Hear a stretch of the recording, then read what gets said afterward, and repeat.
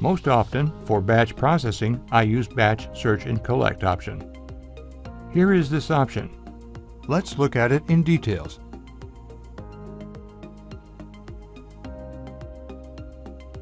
Batch, Search, and Collect. Here is a simple example of how this operation saves me time. Working on projects, I often add 3D models from the library into the scene. But if you use network or distributive rendering, and also try to send a calculation to a remote render farm, it is quite possible that problems will arise. So, you need to monitor textures right away, at the initial stage of project development. But no matter what I do, no matter how I upload the model into the scene, there will always be a problem with incorrect or missing texture paths. And redefining these paths will take time.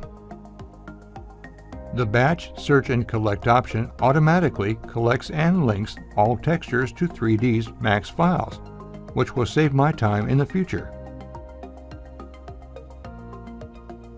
Saving my work progress from the routine relink operations. How this works. Start. Here, as we are working only with 3D models, I removed checkbox from Materials and IES, leaving only 3D models. Copy the path to the needed folder.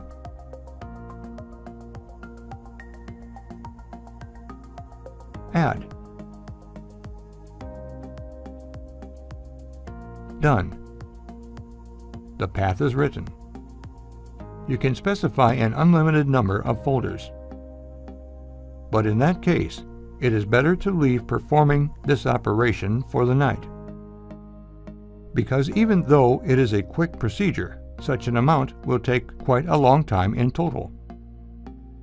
And briefly about the ideal, in my opinion, structure of the folder with the models. This is the most ideal preferable situation. A folder with textures, 3D max scene, and a preview to it. In theory, this is all that should be in the collection folder. If the textures are in a different place, or no one knows where, then in search directories, here is this tab. You can additionally specify the location of the search with the likely location of the textures. If you know it, then ignore this area and click Start for relinking.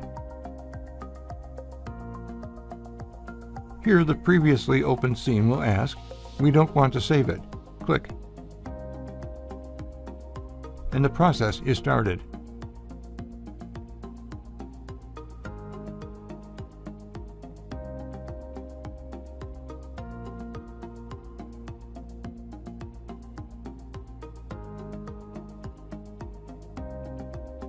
That's it. The process of linking is finished. To make sure that everything is okay, you can upload any file from the folder.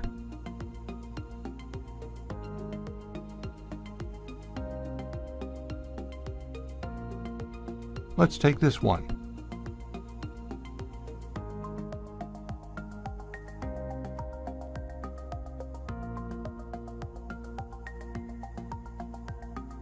Perfect. Let's look at the more complicated cases when there is a need to use collect files procedure and how it makes life easier in various non-standard situations. Collect files operation collects all textures in one folder. The most important in this option, for me personally, is an automatic rename of duplicate texture files. This option is especially relevant when sorting custom models. Not all authors bother with unique texture names, and often you can find file names such as 1, 01, 05, 5, and they can be repeated from model to model. In such cases, the combination of textures in one folder for a group of models causes, let's say, some difficulties. Here is an example of such situation. 96 models, each in its own folder. I understand why it was done like this. Because the models in this batch have enough non-unique names of texture files to cheerfully and enthusiastically rename and reassign them manually, you need to be very patient. Now I will make a search. Here is a situation. We don't need to go far for an example, or do we? No, we don't. Here it is. 2, 2, 1, 1, 3, 3, 04, 04, 4, 4, 5, 5. Well, I think that further in the list, something is also likely to be duplicated somewhere. For a long time, I did not know how to organize this and similar batches and start using them comfortably in projects. There was a batch, but there was no use for it. With the help of Collect Files option, I could remodel these batches according to my standards. The remodeling procedure is as follows. Activate Collect Files option and disable everything else. To start the procedure of the file collection first, show the path to the folder.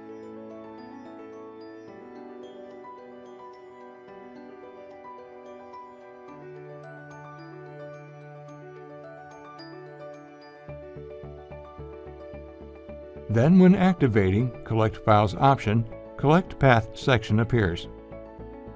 Here you need to specify the folder for collecting textures.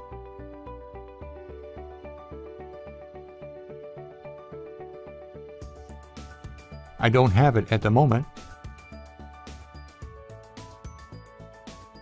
I am creating a folder with such a name. Now here it is. That's it.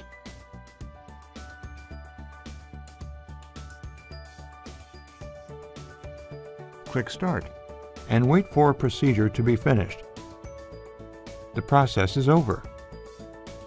What have we got as a result?